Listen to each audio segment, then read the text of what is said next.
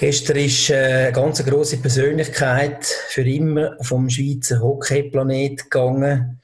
Was hat bei dir die Nachricht vom Tod von Simon Schenker ausgelöst, Patrick Fischer? Ja, ist, klar, am Anfang äh, kannst du es nicht glauben, musst irgendwie zweimal lesen. Ich es auf Instagram gesehen und ähm, natürlich Schock und Betroffenheit. Und da kommen Gedanken auf, ähm, äh, wie es passiert ist. Ich habe gewusst, er hat in den letzten paar Jahren ein, zwei äh, Sachen gehabt, die er bereinigen und aber ja, es ist natürlich äh, traurig aufgekommen. Simon Schenk hat extrem viel bewegt in den letzten 30 Jahren im Schweizer Eishockey. Er ist, ist wirklich eine Ikone. Was hat ihn so einzigartig gemacht? Ja, ich habe von persönlichen Erfahrungen reden. Darum habe ich den Schweizer Nazi-Bulli an. Ich habe ihn dürfen kennenlernen als, äh, als mein Nazi-Coach. Äh, ich war das erste Mal an einer Weltmeisterschaft und er war mein Coach. Gewesen. Damals noch mit fünf, sechs anderen jungen Spielern. Äh, wir sind alle um 20 gewesen, damals für 96 in Eindhoven. Und er hat äh, sehr verständnisvoll und, und rücksichtsvoll mit uns Jungen geschafft, hat uns Vertrauen gegeben das war nicht normal damals und dort habe ich ihn kennenlernen und nachher natürlich immer äh, gewusst Simon Schenk in der Hockeyszene, ja, ist, ein, ist eine grosse Nummer, äh, sehr respektvoll und was ich auch sehr geschätzt habe, nachher, als ich Coach geworden bin, auch dort haben wir immer, auch wenn es wirklich viel Gegenwind war, haben wir die Stange gehabt und haben mir Tipps gegeben und hat äh, mich immer auch aufgemuntert und auch dort in dieser Phase im Leben Vertrauen gegeben. Und das ist etwas, was ich beobachtet habe rundum. Er war einer, der äh, sehr authentisch, ehrlich, auch, auch kritisch zum Teil, aber positiv kritisch Leute unterstützt haben. Und äh, ja, es ist einfach nur lobenswert, wie er umgegangen ist. Und äh, ich möchte mich bedanken bei dir, Simon, für das, was du für mich gemacht hast äh, und auch für viele andere meine, wir wären in Eishockey nie dort äh, ohne ihn und ohne dich. Eben, er ist so, wenn man von Swissness redet, er ist, er ist eigentlich der erste Schweizer Profi-Nationaltrainer gewesen, als Schweizer Coach und hat sich, glaube ich, auch nachher immer wieder äh, dafür eingesetzt, dass Schweizer Coaches äh, Chancen bekommen in dieser Hockeyszene. Ist das so?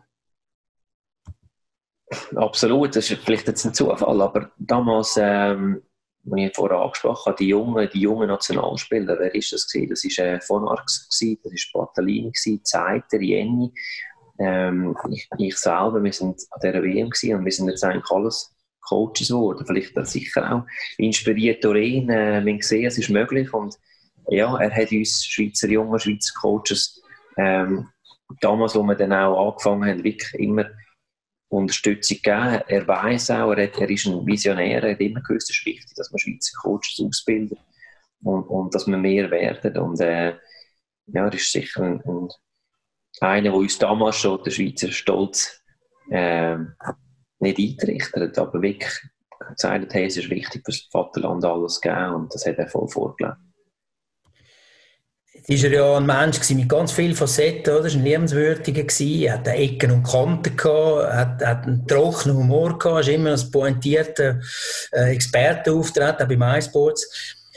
Was hast du für, hast du irgendwo so eine Anekdote, wo, wo, wo genau das zeigt? Das ist genau Simon Schenk oder vielleicht auch aus der Kabine damals.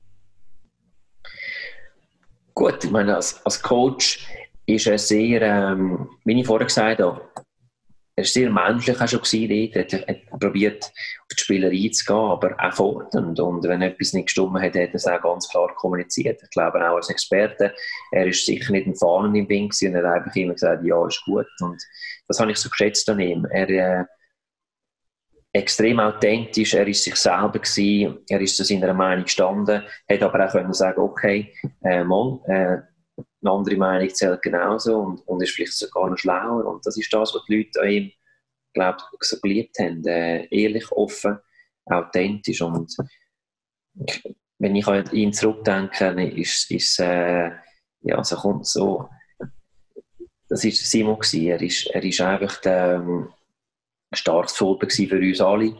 Und schätze Mensch, wenn man ihn etwas fragt, dass eine ehrliche Antwort zurückkommt. Und dann weiß man, was, man, was er wirklich denkt. Und äh, ich glaube, das ist etwas vom Schönsten für mich auch ein Kompliment, wenn es jemand, der einem denkt, dann weiss, okay, wenn man etwas fragt, und eine ehrliche Antwort zurück.